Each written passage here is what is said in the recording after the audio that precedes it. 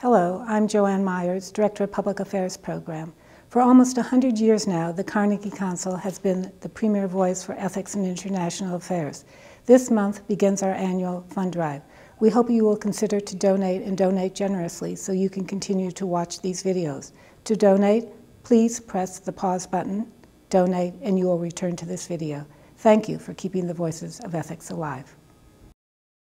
The issue, I think, that's uh, has direct parallels today is not so much the history of the mosque. As I say, the history of the mosque is interesting in its own right, but the the issues is the misuse, I think, of religion for political gain. And I think there's been this tendency in U.S. policy going back to the 50s, as we've seen, continuing today to see Islam as some kind of a tool that can be used for foreign policy gains, that will somehow reach this part of the world, will control, control it, or somehow uh, have some sort of influence if we can just reach the right sort of head man who runs the religious groups there. And I think the Muslim Brotherhood has lent itself to this because the Brotherhood is the best organized. They have very well educated people.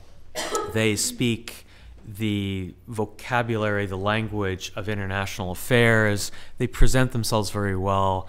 And just like Said Ramadan looked like a good catch for the CIA um, in the 1950s and 60s, so too does the Brotherhood today, be it not just in the Middle East, but in other parts of the world, seem like uh, a good interlocutor. Uh, I'm not arguing against dealing with any group on the planet.